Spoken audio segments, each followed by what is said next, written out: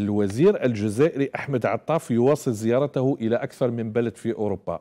بعد إيطاليا هو في صربيا الآن في انتظار أن يذهب إلى ألمانيا. وكان الوزير أحمد عطاف في مقابلة مع وكالة نوفا الإيطالية.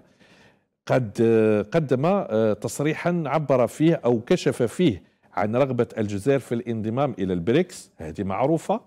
ولكن قال نعتزم المساهمة في رأس مال بنك البريكس للتنمية. هذه معروفة.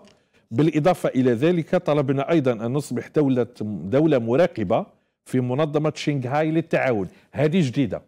يعني على حد علمنا كان هنالك منظمة آه، البريكس والآن الانضمام إلى منظمة شنغهاي. هذه صورة الوزير عطاف اليوم مع نظيره آه، الصربي في ندوة صحفية آه، تم عقدها اليوم كما قلت أنه في جولة أوروبية. قال الوزير عطاف في الرؤية الاستراتيجية لرئيس الجمهورية عبد المجيد تبون تعتبر منطقة آسيا الوسطى مركز جاذبية اقتصادي.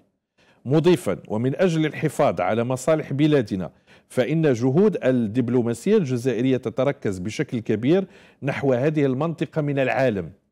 يعني أول مرة نسمعوا تصريح مباشر من طرف مسؤول جزائري يعني مسؤول صحيح أنه علاقتنا بأمريكا مليحة مع الغرب جيدة مع إيطاليا ممتازة. بالصح الرؤية الاستراتيجية للبلد تتوجه نحو آسيا لأنها منطقة جذب اقتصادي.